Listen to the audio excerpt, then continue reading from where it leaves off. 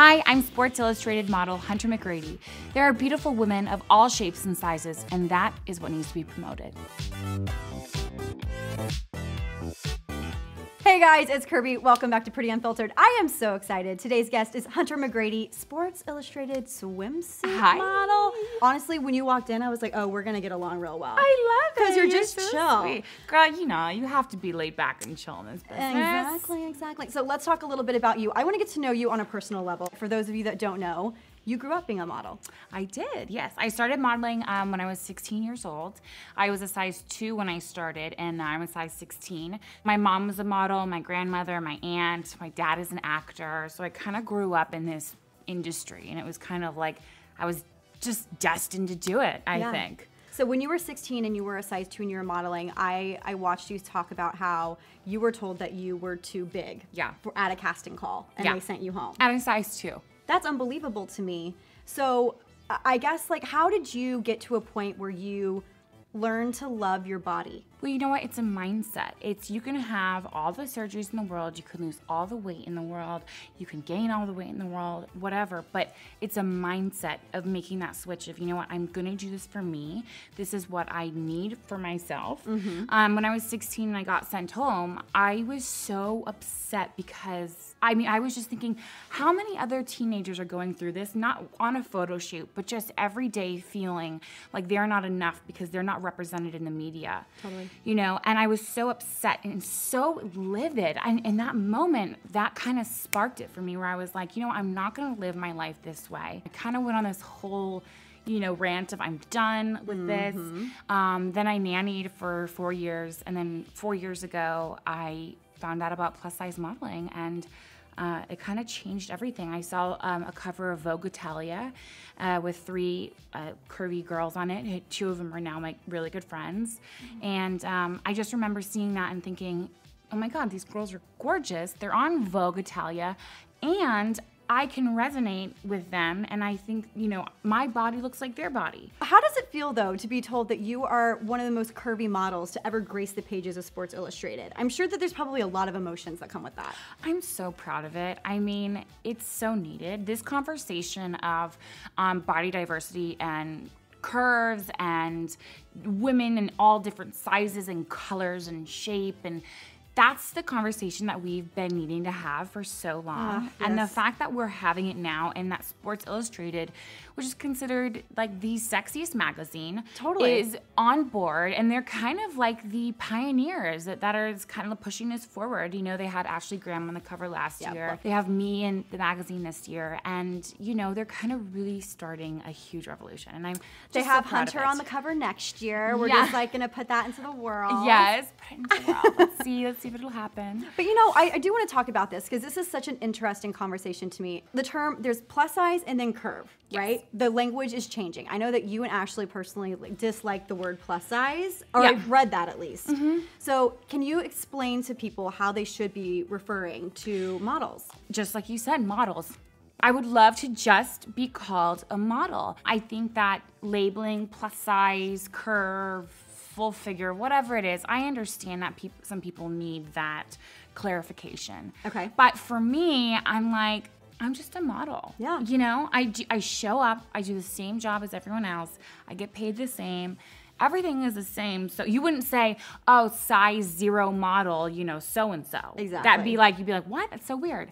What clothing size is a curve model considered? And do you think that reflects women who are actually plus size?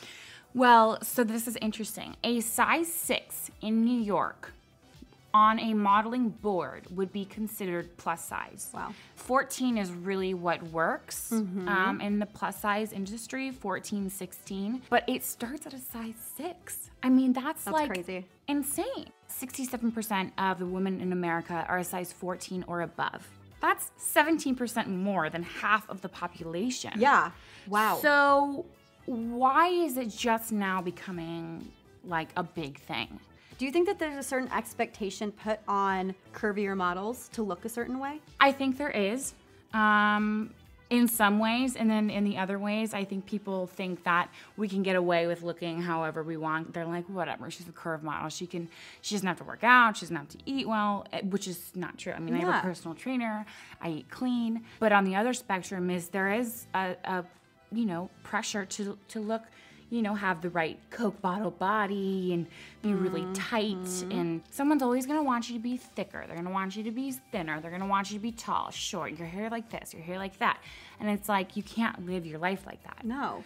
I love to like sometimes publications will be like real girls and their bodies and I'm like as opposed to Fake girls? Yeah, like, Like, everybody you see on the magazines are also real people. Sure, I and I get it. There's a lot of photoshop that happens too. I totally understand like where they come from in that aspect, but I'm like we're all real women people yeah like we exist. So i know I'm sure you've gotten a lot of people come up to you and say like you've inspired me on so many levels, which is awesome. Is there a story that sticks out to you that really made an impact when you heard it? I had a young girl come up to me. She was with her boyfriend and she was like in tears and she was like almost shaky and she was like, I just want to tell you, like, you know, I followed you and Ashley Graham for the past like three years, and you guys have helped me overcome my eating disorder. And I, I can't even tell you, like, I, you have impacted my life in so many more ways than one because I was able to look at you being beautiful and owning your skin, stretch marks, cellulite, rolls, whatever it is, in all your glory. And I looked at that and thought, if she can do it, why can't I do it? Wow. And I was like, you know what? That is the best compliment I could ever receive, you know, above anything else. If it, you know, I don't care how many you look high, you're so sexy in this. That is a compliment. I'm like, I love that. Exactly. That's what I will I will hold on to forever. And I get that, you know, in my Instagram box and Twitter and all these things. And it's like that's why I do what I do.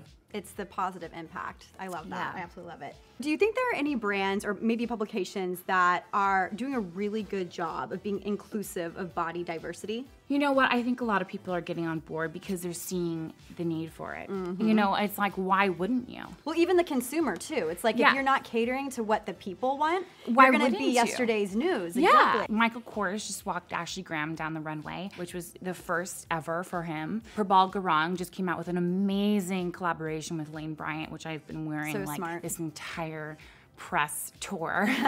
Christian Siriano got on board with it a long time ago because he was like, you know what? I see the need.